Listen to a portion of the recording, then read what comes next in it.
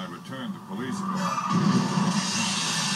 I figured to stop by and see what the lab boys had come up with on Nordberg's jacket. The one they'd found in the dock. You can tell a lot from fiber samples that they aren't too wet. And I was hoping in this case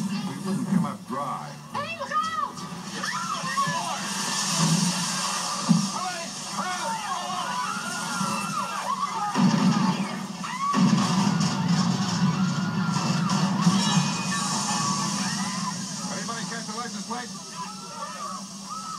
Anybody gonna look at the driver? Uh, take the names of everybody here for questioning. Uh, I gotta get uh,